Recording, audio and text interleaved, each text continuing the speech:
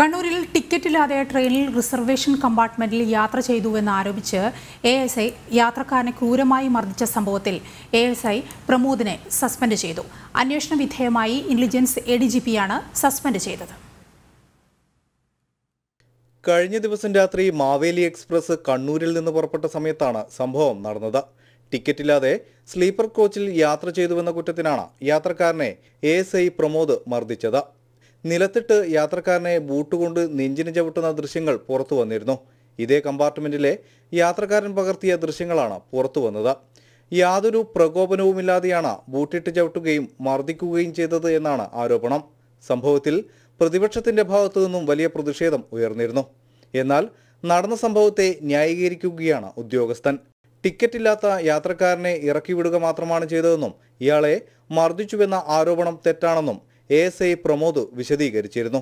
സംഭവത്തിൽ മനുഷ്യാവകാശ കമ്മീഷൻ കേസെടുത്തിരുന്നു. പ്രതിഷേധം ഉയർന്നതോടെയാണ് intelligence A D G P T K Vinod കുമാറിന്റെ നിർദ്ദേശപ്രകാരം എ എസ് ഐയെ സസ്പെൻഡ് ചെയ്തിരിക്കുന്നത്. അതേസമയം പോലീസ് മർദ്ദനത്തിൽ ടി ടി കുഞ്ഞു മുഹമ്മദിനോട് റെയിൽവേ പാലക്കാട് ഡിവിഷൻ റിപ്പോർട്ട് തേടിയിട്ടുണ്ട്. അമിതമായി മദ്യം കഴിച്ച ഒരാൾ റിസർവേഷൻ ബർത്തിലിരിക്കുന്നതായി സ്ത്രീ യാത്രക്കാർ പരാതിപ്പെട്ടെന്ന് ടി ടി മറുപടി നൽകി. യാത്രക്കാരുടെ പരാതിയിലാണ് പോലീസ് ഇടപെട്ടത്. സംഭവം നടക്കുമ്പോൾ ടിക്കറ്റ് പരിശോധനയിലായിരുന്നുവെന്നും ടി ടി ഡിവിഷണൽ റെയിൽവേ മാനേജർക്ക് നൽകിയ വിശദീകരണത്തിൽ വ്യക്തമാക്കുന്നു. ജനം കോഴിക്കോട്